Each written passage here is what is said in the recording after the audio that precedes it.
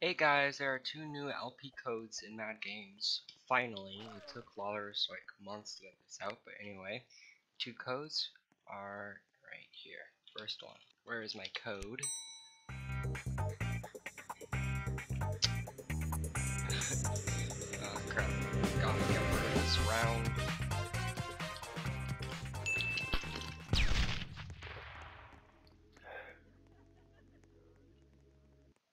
And the other code is another murderer.